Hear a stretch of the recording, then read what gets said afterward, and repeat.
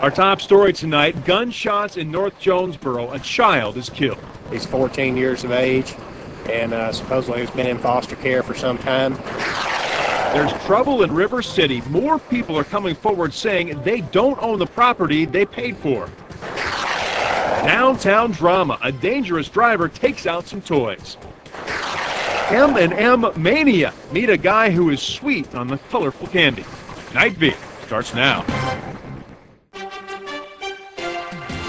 From your good neighbor station, this is K8 News Night Beat.